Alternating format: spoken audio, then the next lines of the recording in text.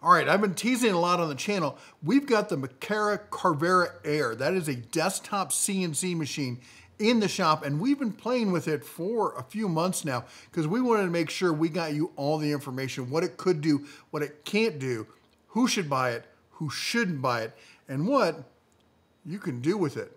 We're gonna walk you through some of the little demos. You know, they always build them into these machines and they send you with some extra material to kind of get you started learning the basic skill set. Because this isn't a 3D printer and it's definitely not a laser unless you buy the laser module.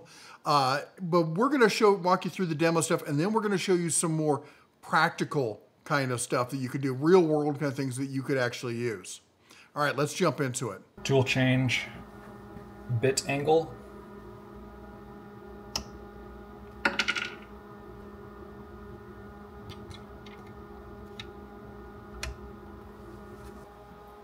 tool change, lever, angle.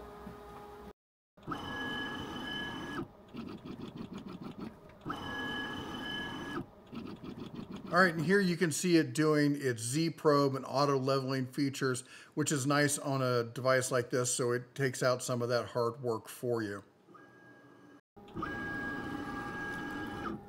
Okay, so magnetic dust shoe attachment here, that removed air control nozzle and then you can direct air with this nozzle here and line it up. Can't generally do both the dust shoe and vacuum at the same time.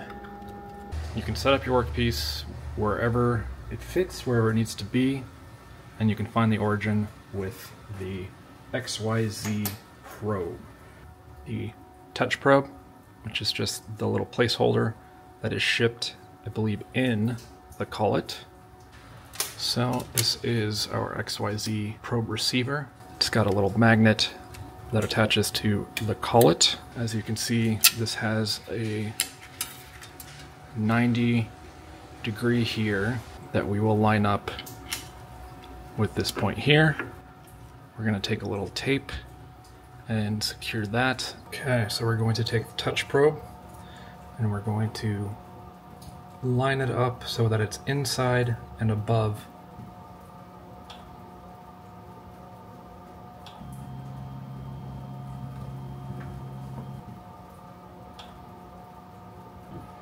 touch there. Now it's pointing directly at the origin of the workpiece and it knows the height as well. So now it knows to start machining right at that point there quick example of fourth axis setup. And then we slot in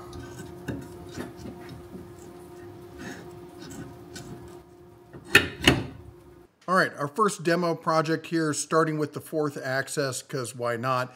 It's uh, out of a poly epoxy kind of block here, and you'll see what we get out of it.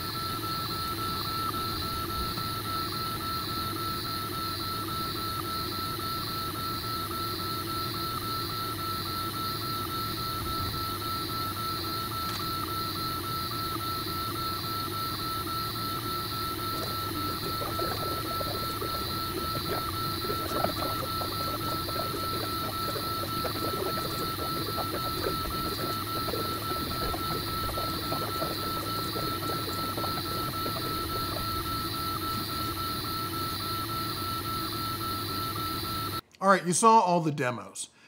And again, it's kind of a pet peeve of mine, especially because I do a lot of stuff in the 3D printer world, and you see that if you've been around the channel, you know a lot of stuff with lasers.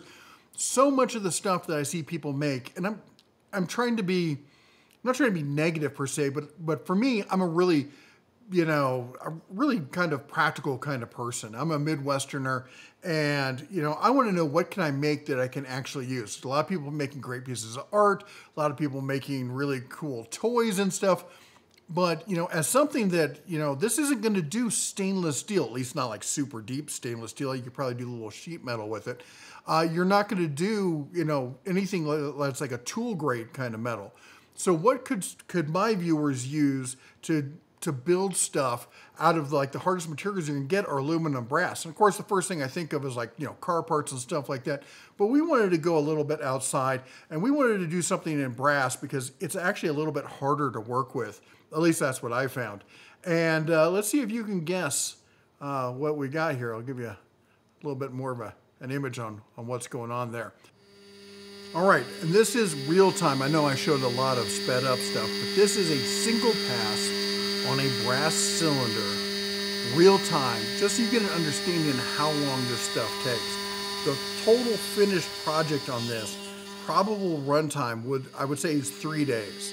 Uh, that's including starts and stops and all the other stuff we had going into it. But I mean, like the, each pass on this was 12 to what, like 14 or so hours. It was incredibly long because you had to take very small portions off. And I would say definitely do not leave the cover open. We just did this for filming because those, that little glitter there is sharp, as they like to say. Anyway, we also had to make a couple jigs here. We actually had to make a whole bunch of jigs. Find center, hold it in place while doing some really interesting cuts. So there's a lot more that goes into this than just throwing it in the machine and hitting go. You got to really think out the whole process. It's not as simple as a CNC machine or a laser. That said, here's some of the results. This is the plaque. Now I'll say this, the detail on this is not as good as it could have been. We didn't have a vacuum at that time. There's Audrey Hepburn with the laser. It looks good, but meh. And, the, and Nefertiti there.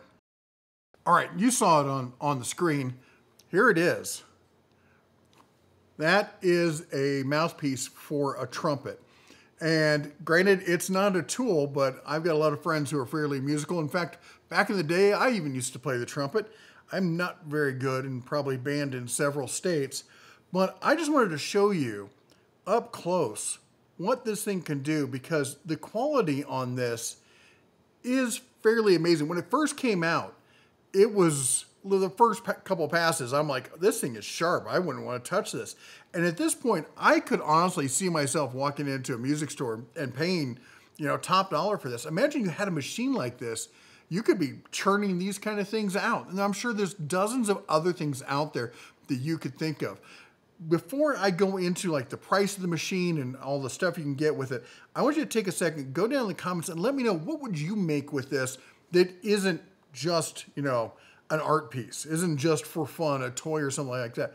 What would you, what else would you make? Of course, the other thing I thought of was gaskets, but uh, I don't think I need to buy a machine like this just to make gaskets. Anyway, let's take a look at it. So we got here is their their main website, and we got they have their their big boy machine. This is the Carvera Desktop CNC. It starts at 5500 That's the back to school sale price.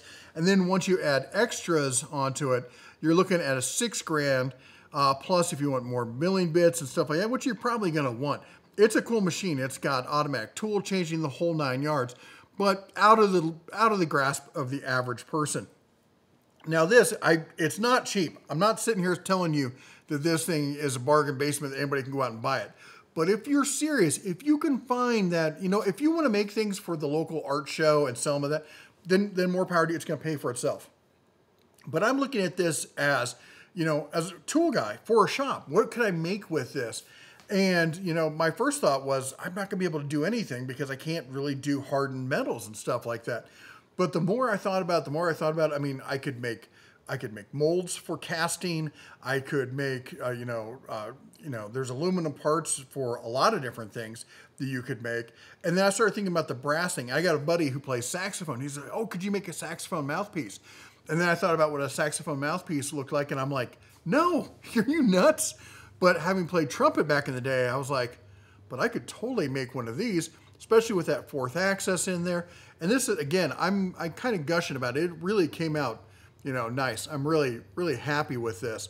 But that said, you know, do you need a 25, even on sale, $2,500 machine? Now, if you add the laser in there, because the laser doesn't come come with it, but it is only a $50 bump to add the laser. The fourth axis, I think there is a lot of need there for the fourth axis.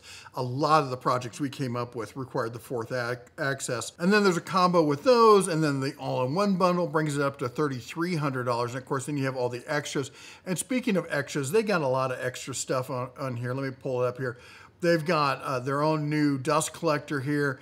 You can buy the fourth axis, the laser module, all of that separately. New collets, uh, you know, all the brackets and the hold downs and everything else uh, replacement parts, more seen like the whole CNC bits. That's actually a nice add-on to have. Some of the materials, I get it. it you could be in some places where it's hard to source materials. honestly, uh, I bought my materials off of Amazon. Probably not the best place to get them, but every place else I looked at for bulk materials, they wanted you to buy bulk materials, and I wasn't prepared to do that right now. Now, here's the thing. Here is this. Who is this for? And it's like I said before. I kind of led into it and built along the way. It's for the person who already knows what they're going to do with it. Uh, for the person who's either A, they've got like some craft fair or crafty kind of business and they're going to do something like that. Or the person who's going to be, I don't know, starting their own business making these. There are websites I've seen where people do custom mouth and they sell for like two to three hundred dollars each. That's quite a business if you could be selling custom, like, oh, you want a one millimeter difference. Sure, we can make that for you. Um, but that said, there's other businesses I'm sure out there you could do. You could do some custom car parts, stuff like that. Again, mold making, that kind of thing. Uh, but who it's not for is the person who needs to work in tool steel. People are going to work in harder materials. And then also the other thing is on the other end of the spectrum, I saw a lot of stuff where I'm just like, because I did watch a lot of videos to get inspiration as what people were making. And a lot of the stuff I'm like, 3D printer. That should be a laser. That should be a 3D printer. That should be a laser. You should have cut that out with a hacksaw. A lot of this stuff that I see people doing with these machines, it's it's cool. It's really cool, but I have $2,500 base to do that. No, I think you'll be better off a lot of times. So remember, it's a tool. You got to choose, choose the right tool for the right job. Uh, the fact that it's got a laser in it, I would not. I don't get me wrong. Audrey Hepburn, gorgeous, gorgeous. Love her. Love Audrey breakfast for Tiffany's, of course, but I would not buy it for the laser. I would not justify it because of the laser. Now, one of the areas I left out on purpose was the first thing that most people think about when they think about this, which is PCBs. And if you're in PCBs, then you already know the answer, okay? Uh, you don't need me telling you about it. Uh, uh I don't do a lot of PCB builds, as in any. I have in the past, and that's why I don't do them anymore. Uh, you know, and if I do the one-off kind of things, I don't need a CNC machine for that. So the laser and the CNC, if you're doing PCB boards, you know the answer. Anything else, uh, I know, maybe I'm missing some stuff. Maybe I'm wrong. Put it down below if you think I am. School me on this. I'd love to hear about it. But that said, I think there's a very niche market that this thing is for. And for some people, maybe completing the other 20% of an 80% project. Maybe that is. I don't know. That's up to you. Let me know what you think. Uh, I hope you like what we did here. If you want, there's other project stuff you'd love to see with this, put it down in the comments. Don't forget to check out the links. Thanks to Makera for sending this over. It's quite a piece of machine. And uh, was really blessed to have this in our shop and I hope to find more uses for it. And if we do, we will definitely include those in future videos. Anyway, that's all I got for you today. You all take care, God bless, and as always, shine on.